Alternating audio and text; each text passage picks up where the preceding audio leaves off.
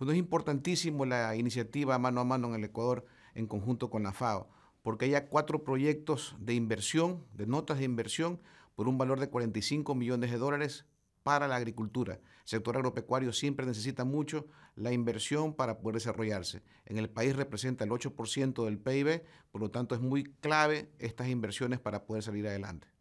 Bueno, tenemos en el Ministerio cuatro puntales importantísimos, cuatro ejes clarísimos.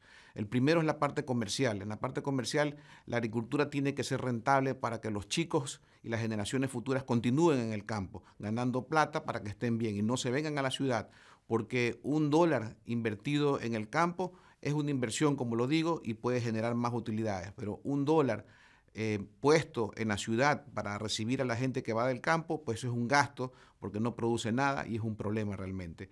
Lo segundo es la asociatividad o el cooperativismo. Es clave asociarse y cooperarse porque hay, hay demasiada intermediación, hay demasiada informalidad en el sector agropecuario en el Ecuador.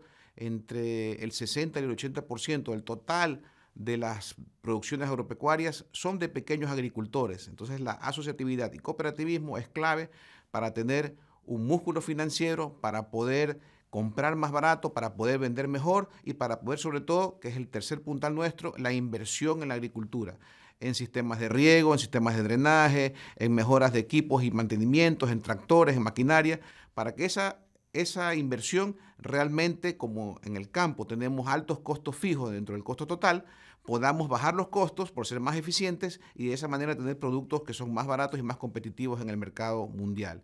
Y lo último, y, creo que es más importante, es eh, la ruralidad, que no solamente es la parte agrícola, sino también es vías de acceso, educación, sobre todo conectividad, que necesitamos mucho los agricultores para estar en contacto con el mundo, salud y seguridad.